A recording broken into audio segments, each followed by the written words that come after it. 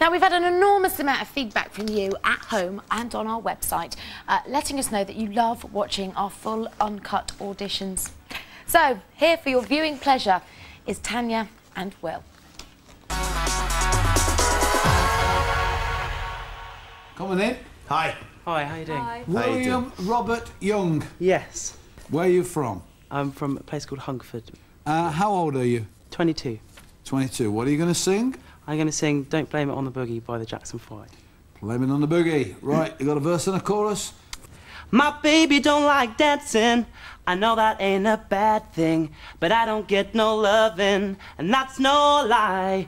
We've been dancing in Frisco in every kind of disco, and that's the time I kissed all love goodbye.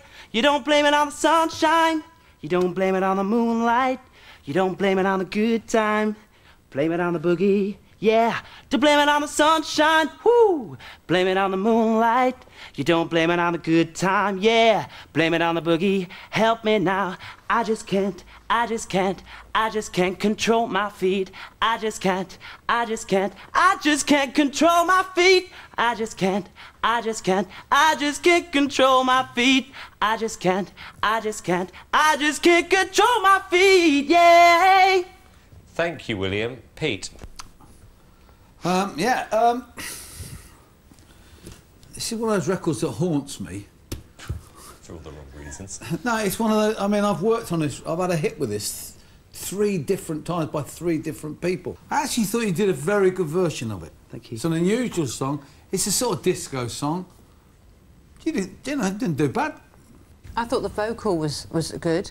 Um, I didn't like your moves at all, Okay. got to be honest. Sure. Um, the leg action and stuff just didn't work for me. But, you know, I liked your voice. Yeah. Yeah, I like your voice.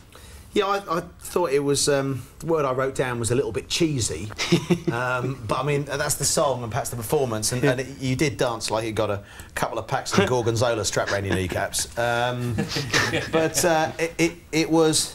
It Hang was, on. it was a pleasant cheddar rather than a, a, Hang I think a stinky Stilton. so it was good cheese. I'm sorry. No, he did it. I was trying to work out. It got it in. No, it was good cheddar. It was not stinky Stilton. It was fine. Very nice indeed. Uh, William, um, what did I think? I thought it was all right. Um, I thought the last part of the song, you actually sound pretty well. You're a good-looking boy. You've got a nice voice. We'll see you through to the next round. Brilliant. Thank you very much. Okay. Congratulations. All Listen to what we said. Yeah. Well done. Cheers now. Thanks.